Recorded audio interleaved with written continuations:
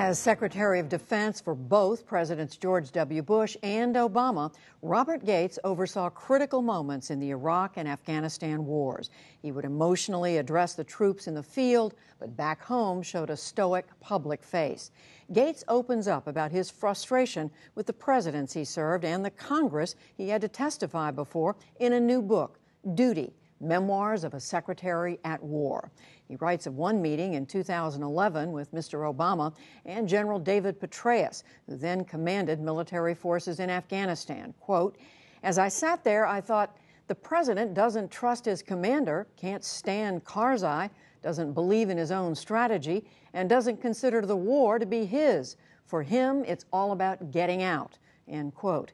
When it came to Congress, he writes, quote, I would listen with growing outrage as hypocritical and obtuse American senators made all of these demands of Iraqi legislators and yet themselves could not even pass budgets, end quote. We expect to interview the former defense secretary next Tuesday.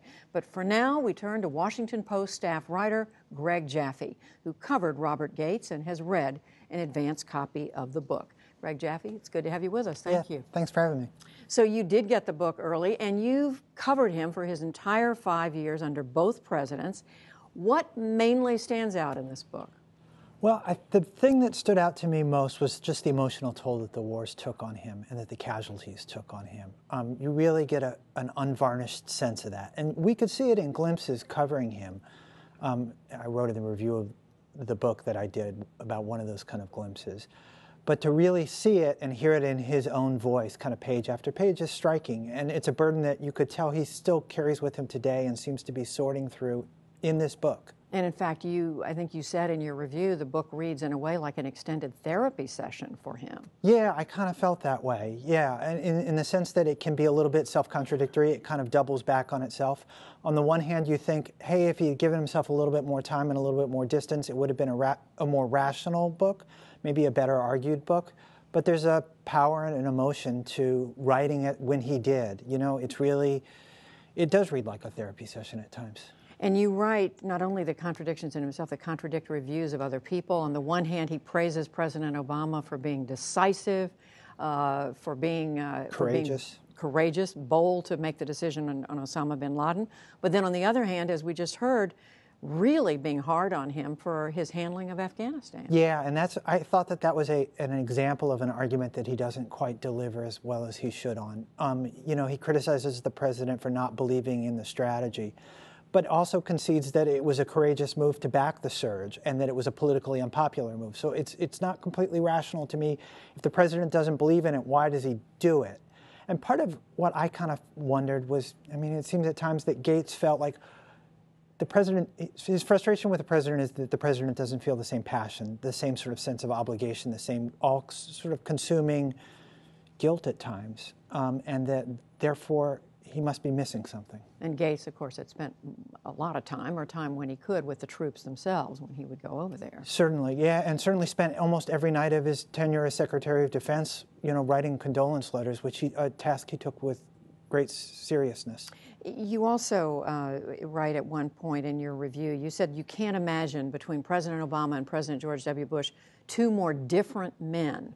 What does he say about President Bush? What's you know, he's very complimentary of, of, President Bush, at least is my recollection of it. You know, uh, he does concede that when he joins the Bush administration, President Bush has been president for six years, and that that's a you know a different mindset but he, he's, very, he's very quick to praise uh, President Bush's decisiveness and his passion, particularly with regard to the Iraqi surge. He describes him as sort of having no second thoughts on that surge, nor any second thoughts on the Iraq war overall. And that's something that I think Gates finds commendable.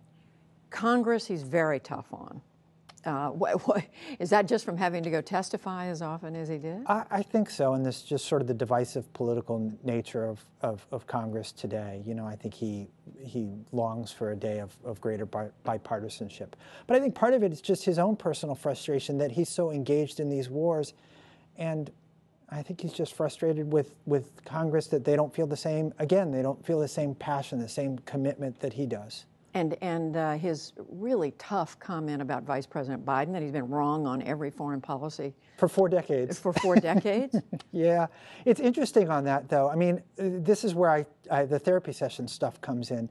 That he's very critical of Biden on that. He's very critical of Biden for um, suggesting that uh, he sowed discord between the president and the, the uniformed military by sort of subjecting the president to Chinese water torture, as he calls it, that you can't trust the, your generals.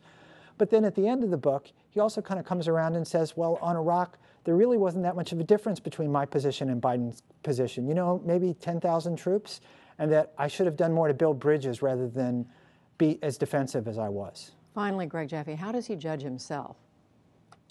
You know, that's a good question. I think he's sort of, that's where I thought he's kind of wrestling through it. I mean, he is critical of himself in the book, and it's written in his voice. He didn't use a ghostwriter, and it's, it's, it's clear, and I mean that in a good way, in the sense that it sounds like him and it feels like him.